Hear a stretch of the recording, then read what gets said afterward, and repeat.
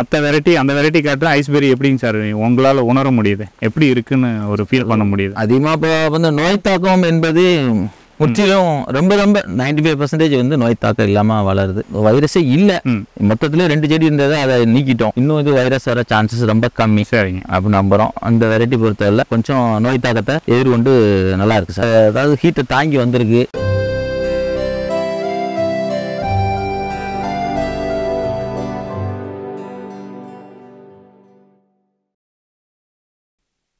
வணக்க விவசாய தொழிலாளர்களே இன்னும் ஒரு அருமையான விவசாய காலத்தில் சந்திக்கல. ரொம்ப மகிழ்ச்சி. இன்னைக்கு வந்து பார்த்தீங்கன்னா தென்காசி மாவட்டம் கடைநல்லூர் வட்டத்தில் இருக்கும் சாருடைய தோட்டத்தில் இருக்கும்.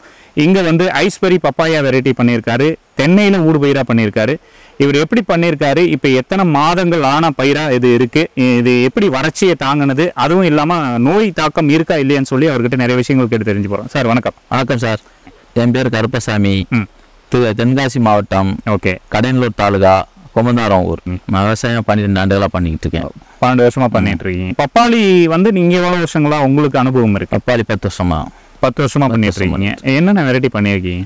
நான் அதிகமாக பண்ணது ரெட் லேடி. அதுக்கு அடுத்தபடியாக இப்போ doctor Narayanan group of YouTube சேனல்ஸ்ல இருந்து. ஐஸ்பெரி விதைகளை வாங்கி. நானே நாட்டுப்பாவி இப்போ நடுவு செஞ்சுட்டு அதாவது எவ்வளவு விதை வாங்கி நாத்து தயார் பண்ணிடுறீங்க ரெண்டு பாக்கெட் தோராயமாக ஒரு ஆயிரத்தி முந்நூறுவா எவ்வளவு நாள் நாத்தை நீங்க வந்து வளர்த்துனீங்க? எப்படி எடுத்து நாற்பத்தஞ்சு நாள். நாற்றை விதை முளைக்கிறதுக்கு ஒரு பதினஞ்சு முதல் இருபது நாள் ஆச்சு. சரி. அதுக்கப்புறம் ஒரு முப்பத்தஞ்சு ஐம்பது நாள் அதிகபட்சமாக வச்சு நடுவு பண்ணி செடிக்கு செடிக்கு என்ன இடைவெளி வச்சிருக்கீங்க? வரிசைக்கு வரிசை என்னென்ன இடைவெளியில வச்சு பண்ணிருக்கீங்க செடி செடி அஞ்சு அடி வைக்க சொல்லியிருக்கேன். இப்போ கொஞ்சம் கம்மியாக தான் வச்சிருக்கிறோம். அடுத்து வைக்கும்போது அஞ்சு அடி வைக்கணும். ம், கண்டிப்பா. இதுதான் உங்ககிட்ட மெயினா சொல்லணும்னு இருந்தேன் இந்த வீடியோ பாக்குறவங்களுக்கு நிறைய பேருக்கு தெரிஞ்சிருக்கும். ரொம்ப அடர் நடவுல தான் நீங்க நடவு பண்ணிருக்கீங்க ரொம்ப ம- அஞ்சடிக்கே குறைவா தான் பண்ணிருக்கீங்க அதனால இன்னொரு ஒரு இலைக்கும் இன்னொரு இலைக்கும் பக்கத்துல பாத்தீங்கன்னா மரத்துல மரத்துல இடிப்பு இருக்கிறது தான் செய்யுது. பப்பாளியை பொறுத்த வரைக்கும் எந்த பயிராக வேணாலும் காற்றோட்ட வசதி ரொம்ப தேவை.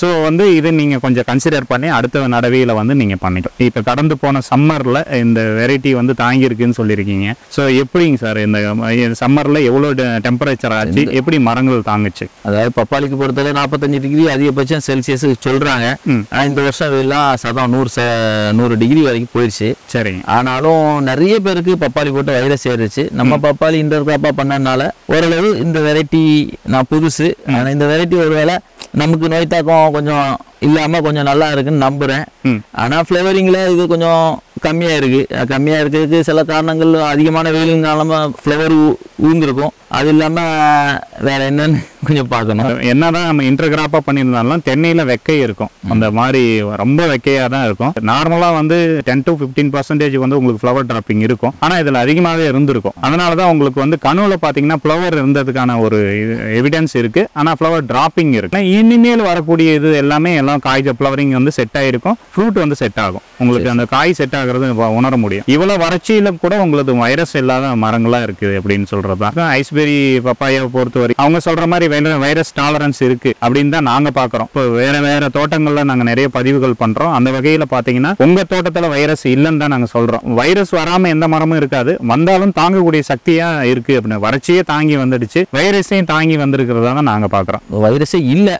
மொத்தத்துல ரெண்டு செடி இருந்தது அதை நீக்கிட்டோம். இன்னும் இது வைரஸ் வர சான்சஸ் ரொம்ப கம்மி. சரிங்க. அப்படி நம்புறோம். அந்த வெரைட்டி பொறுத்தவரை கொஞ்சம் நோய் தாக்கத்தை எதிர்கொண்டு நல்லா இருக்கு சார். அதாவது ஹீட்டை தாங்கி வந்திருக்கு. கொஞ்சம் ஃப்ளவரிங்கி அது காலநிலை காரணமா மாற்றம் இருக்கா என்னங்கிறத இன்னொரு சொட்டி நான் போட்டு பார்த்தா அது கரெக்டாக தெரிஞ்சிடும் நீங்க இந்த ரெக்கமெண்டேஷன் பிரகாரம் பண்ணுங்க. களை இல்லாம மோஸ்ட்லி வந்து தோட்டம் வந்து இந்த தோட்டம் வந்து களை இல்லாம எடுத்திருக்கீங்க.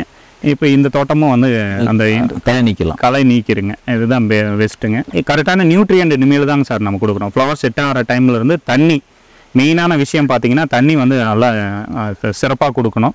அப்போ வந்து ஒரு- ஒரு மரத்துக்கு வந்து இருபதுலேருந்து இருபத்தஞ்சி லிட்டர் அந்த மாதிரி அளவு வந்து அளவு பிரித்து கொடுக்கணும். ஒரு ஐம்பது சதவீதம் ஐம்பதுலேருந்து அறுபது சதவீதம் ஈரப்பதம் ஈரப்பதமாக இருக்கணும்னு தான் சொல்லிகிட்டு இருக்கோம். ஒவ்வொரு முறையுமே ஐம்பதுலேருந்து அறுபது சதவீதம் ஈரப்பதம் இருக்கணும். அது ஈ- அறுபது சதவீதம் ஈரம் வந்து நல்லா ட்ரை ஆன பிறகு தான் நீங்கள் வந்து தண்ணி பாய்ச்ச ஆரம்பிக்கணும். ஃப்ளவரிங் வந்து ஸ்டார்ட் ஆயிடுச்சு காய்ப்பு வர ஆரம்பிச்சிருச்சுன்னா கொஞ்சம் தண்ணி வந்து அதிகப்படுத்திக்க தான் செய்யணும். நீங்கள் நம்ம பூமி மண் வாக்க பொறுத்து மண் தன்மையை பொறுத்து நீங்கள் வந்து அதிகமாக பண்ணிக்காங்க. மெயினாக ஃப்ரூட்டிங்ஸ் ஃப்ரூட் செட் ஆன பிறகு காய்ப்பு செ- காய் வந்த பிறகு காய் ஊறுறதுக்கான உண்டான வழிவகைகள் உரங்கள் வந்து நம்ம கொடுக்கணும். மற்ற வெரைட்டி அந்த வெரைட்டி காட்டுற ஐஸ்பெரி எப்படிங்க சார் உங்களால் உணர முடியுது. எப்படி இருக்குன்னு ஒரு ஃபீல் பண்ண முடியுது. அதிகமாக இப்போ வந்து நோய் தாக்கம் என்பது முற்றிலும் ரொம்ப ரொம்ப நைன்டி ஃபைவ் பர்சன்டேஜ் வந்து நோய் தாக்கம் இல்லாமல் வளருது. பிஞ்சு பொறுத்தல நமக்கு வந்து ஒன்றரை அடியில இருந்தே வரணும். அதாவது ஃப்ளவரிங் எல்லாம் என்ன ஆச்சுன்னா அதிக வெயிலின் காரணமாக எல்லாம் கருகிருச்சு ஓகே ஓகே சார் வெயில் எப்படின்னு கேட்டிங்கன்னா கிட்டத்தட்ட எழுபது நாள் அதிகமான வெயில் ஆகி போச்சு நம்ம மாவட்டத்தில். அதுவும் பூரா தமிழ்நாடுமே அப்படி தான் இருந்துச்சு. இப்போ அதனால ஒன்றும் ப்ராப்ளம் இல்லை. இப்போ அடுத்து வரதெல்லாம் கொஞ்சம் நல்லா செட் ஆயிருக்கு. ஓகே இன்னும் அடுத்து சில உரங்கள்லாம் கொடுத்து அதுக்கு தேவையான சத்தெல்லாம் இன்னும் கொடுக்க வேண்டியது இருக்கு இடத்த க்ளீன் பண்ணி கொடுத்தா இன்னும் எல்லாம் சரியாயிடும். ஓகே சார் உங்களுக்கு வந்து ஃப்ளவரிங் வந்து எங்க இருந்து ஸ்டார்ட் ஆச்சுங்க அதை கரெக்டாக சொல்லுங்க. ஃப்ளவரிங் நமக்கு இங்கே ஸ்டார்ட் ஆயிடுச்சு சார் இங்க இருந்து ஸ்டார்ட். ஆயிருக்கு. எல்லாமே. ஓகேங்களா கிட்டத்தட்ட ஒரு செடிக்கு பதினஞ்சுலேருந்து இருபது ஃப்ளவருங்கிறது வந்து டெத் ஆயிருக்கு. உங்க தோட்டத்துல பொறுத்த வரைக்கும் வைரஸ் வந்து இதுக்கு முன்னாடி பாதிப்பு இருந்ததுங்களா? வைரஸு இல்லை சார் அதிகமாக இது வரைக்கும் அறநூறு செடிக்கு ஒரு அஞ்சு செடி போயிருக்கு. அதிகபட்சம் மூணு செடி எடுத்தாச்சு இன்னும் ரெண்டு செடி எடுக்க வேண்டியிருக்கு. அவ்வளோதான் வேற ஒன்றும் இல்லை.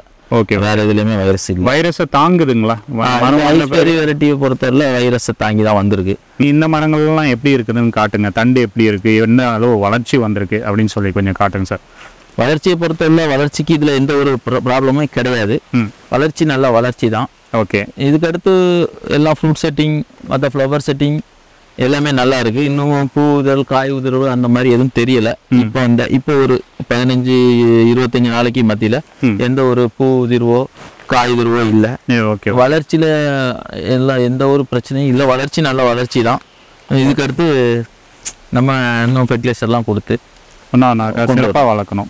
சார் இப்போ நியூட்ரியன்ட் நம்ம சொல்கிற ரெக்கமெண்டேஷன் பிரகாரம் நியூட்ரியன்ட் நீங்கள் பேலன்ஸ்டாக கொடுங்க.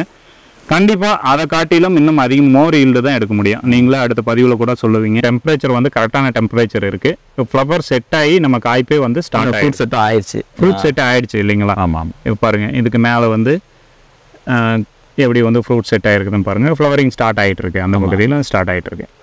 ஸோ எல்லாமே ஓரளவுக்கு இப்போ நல்லா செட் ஆயிடுச்சு. ஐஸ்பெரி பண்ணியிருக்கீங்க. சிறப்பான ஈல்டு எடுப்பீங்க. கண்டிப்பாக நீங்கள் வந்து ஈல்டு எடுக்குது.